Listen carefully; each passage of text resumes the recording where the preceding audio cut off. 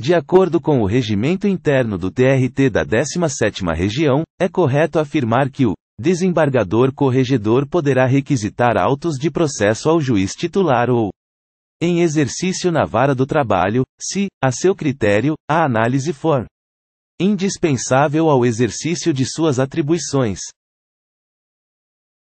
Analisando a questão, você responde verdadeiro ou falso. O gabarito é verdadeiro. Artigo 46.